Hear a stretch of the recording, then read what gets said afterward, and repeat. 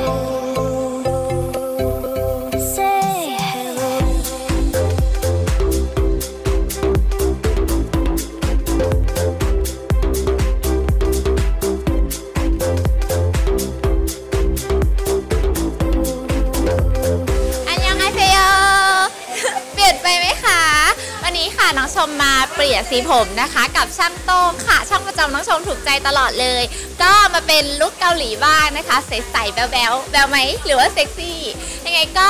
ชอบมากนะคะสำหรับสีก็คือสีบรอนซ์ประกายมุกนั่นเอง ถ้าใครสนใจนะรีบติดต่อช่างโต้งเลยค่ะ